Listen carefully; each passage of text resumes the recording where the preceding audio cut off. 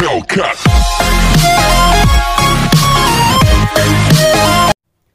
everyone and welcome to the channel आप देख रहे हैं आर एफ़ ब्लॉग्स तो। इस वीडियो में हम आज बात करने वाले हैं N S two hundred B S six और Duke two hundred B S six के बारे में।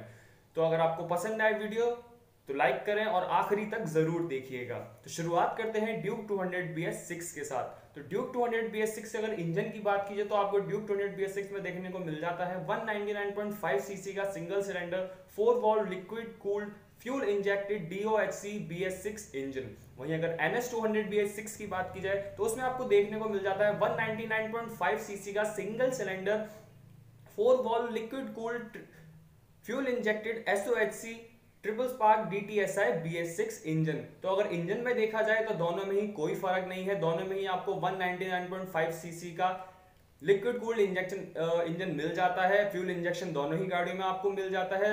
और बी एस सिक्स इंजन दोनों में ही आपको अवेलेबल हो जाता है। वहीं अगर बात की जाए दोनों के पावर के बारे में तो आपको ड्यूक 200 BS6 में पावर देखने को मिल जाती है। 25.25 PS की एट द रेट 10,000 RPM वहीं अगर NS 200 BS6 की बात करें तो उसमें आपको 24.5 PS की पावर मिल जाती है एट द रेट 10,000 RPM तो पावर में सिर्फ़ 0.5 न्यूटन PS का फ़र्क आपको देखने को मिल जाता है दोनों ही बाइक्स में. अगर टॉक की बात की तो ड्यूक 200 BS6 में आपको 19.3 न्यूटन मीटर का टॉक देखने को मिल जाता है एट द रेट 10,000 आरपीएम वहीं अगर टॉक हम NS 200 BS6 की बात करें तो 18.5 न्यूटन मीटर का टॉक आपको देखने को मिल जाता है एट द रेट 8000 आरपीएम तो आरपीएम का जो लिमिट है वो दोनों में 8000 आरपीएम बट जो ड्यूक में जो टॉक आपको मिलता है वो 19.3 न्यूटन मीटर का मिल जाता है, वहीं जो टॉक आपको एनएस 200 में मिलता है वो 18.5 न्यूटन मीटर का टॉक देखने को मिल जाता है। तो वहीं अगर पावर और टॉक फिगर्स की बात की जाए तो आपको ड्यूक 200 BS6 में आपको टॉक और पावर दोनों ही पॉइंट में ज़्यादा देखने को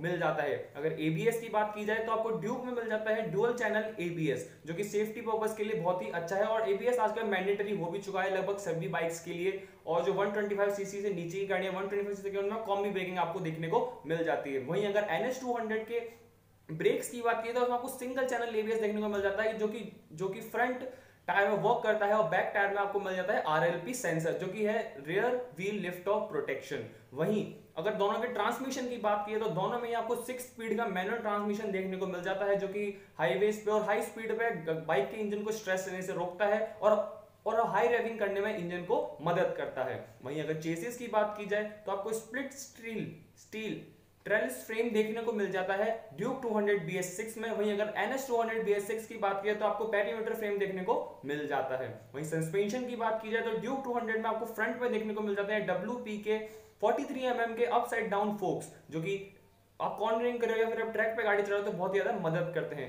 रेयर में आपको देखने को मिल जाता है नाइट्रॉक्स मोनोशॉक वो भी डब्ल्यूपी का। NS 200 की अगर बात की जाए तो आपको सस्पेंशन फ्रंट पर देखने को मिल जाता है। टेलीस्कोपिक सस्पेंशन आपको देखने को मिलता है विद एंटी फ्रिक्शन बुश वहीं अगर रेयर की बात की जाए तो आपको मोनोशॉक देखने को मिल जाता है विद कैनिस्टर अगर टायर साइजेस की बात करें तो ड्यूक 200 BS6 में आपको फ्रंट का जो टायर है वो 110 बाय 70 सेक्शन का 17 इंच का आपको टायर देखने को मिल जाता है। वही अगर रेयर की बात करें तो आपको 150 बाय 60 सेक्शन का 17 इंच का टायर देखने को मिल जाता है। अगर NS 200 से कंपेयर करें तो NS 200 में फ्रंट में आपको देखने को मिल जाता है 100 बाय 80 सेक्शन का 17 इंच का टायर वही अगर रेयर की बात की जाए तो आपको 130 बाय 60 सेक्शन का 17 इंच का टायर देखने को मिल जाता है। दोनों में ही आपको रेडियल टायर देखने को मिलते हैं। अगर टायर साइज़ की बात की जाए तो हाँ आप कह सकते हैं कि ड्यूक में आपको रेयर टायर फ्रंट टायर थोड़ा वाइडर देखने को मिल जाता है N S two hundred B S six से। अगर ड्यूक 200 BS6 की लेंथ की बात की जाए तो आपको 2050 mm यानी 2050 mm की आपको लेंथ देखने को मिल जाती है विड 730 mm की आपको देखने को मिल जाती है, और हाइट आपको 810 mm की देखने को मिल जाती है। वहीं अगर NS 200 BS6 की बात की जाए तो आपको लेंथ 2017 mm की देखने को मिल जाती है विड्थ आपको 804 mm की देखने को मिल जाती है। अगर आप हाइट की बात करें तो 1075 यानी 1000 75 mm की आपको उसकी हाइट देखने को मिल जाती है। तो वहीं अगर बात की जाए हाइट की बात की जाए तो आपको एनएस ज़्यादा मिल जाती है। अगर विड की बात की जाए तो आपको एनएस में ज़्यादा मिल जाती है। अगर लेंथ की बात की जाए तो आपको ड्यूक में ज़्यादा मिल जाती है। अगर दोनों की बाइक्स की अगर जो कि ड्यूक 200 BS6 और एनएस 200 BS6 के अगर आप व्हील बेस की बात करेंगे तो आपको ड्यूक में देखने को मिल जाता है वन 1367 mm का व्हील बेस देखने को मिल जाता है। वहीं अगर NS 200 BS6 की बात करें तो आपको 1368 mm का देखने को मिल जाता है। ग्राउंड क्लियरेंस की अगर बात की जाए तो 170 mm का आपको देखने को मिल जाता है ड्यूक 200 BS6 में। वहीं अगर NS 200 की बात की जाए तो 108 168 mm का आपको ग्राउंड क्लियरेंस देखने को मिल जाता है। तो जो ग्राउंड क्लियरेंस में ज़्यादा आपको वैसे फ़र्क देखने को मिलता नहीं है। ड्यूक में सिर्फ़ 2 mm का फ़र्क है, जो कि ड्यूक में 2 2 mm ज़्यादा है। ज़्यादा है तो आपको फील नहीं होगा गाड़ी चलाते टाइम अगर आप बैठेंगे तो उतने ही लेवल आ जाता है लगभग। अगर सीट हाइट की बात की तो ड्यूक 200 BS6 में आपको सीट देखने को मिल जाती है। 810 mm की, वहीं अगर NS 200 की बात की जाए तो 805 mm की आपको सीट हाइट देखने को मिल जाती है। तो अगर हाइट में बात की जाए तो ड्यूक थोड़ी ज़्यादा हाइट है। 5 mm आपको सीट हाइट ज़्यादा देखने को मिल जाती है। ज़्यादा प्रॉब्लम नहीं होगी टॉल राइडर या फिर शॉर्ट राइडर को, दोनों ही इजीली आप, दोनों ही बाइक्स को ड्राइव कर सकते हो, आप राइड कर सकते हो, दोनों में ही आपको कोई प्रॉब्लम नहीं होने वाली है। वहीं अगर फ्यूल टैंक की बात की जाए तो आपको फ्यूल टैंक 13.5 लीटर का देखने को मिल जाता है ड्यूक 200 BS6 में, वहीं आपको 12 लीटर का देखने को मिल जाता है NS 200 BS6 में। लगभग आपको माइलेज सेम सही मिल जाएगा।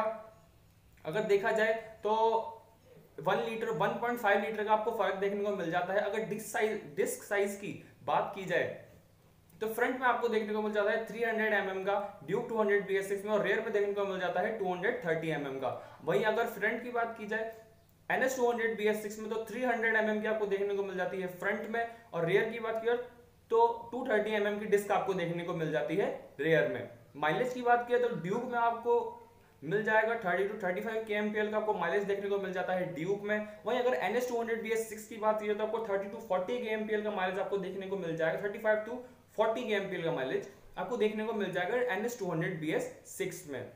अगर दोनों की वेट की बात की तो 150.3 केजी का वेट आपको देखने को मिल जाता है ड्यूक 200 BS6 में। वहीं अगर NS 200 BS6 की बात की तो आपको उसमें वेट देखने को मिलता है 156 केजी का। तो जो पावर टू वेट रेशियो निकल के आता है वो ड्यूक 200 का थोड़ा ज़्यादा अच्छा निकल के आता है NS 200 के कंपेयर में।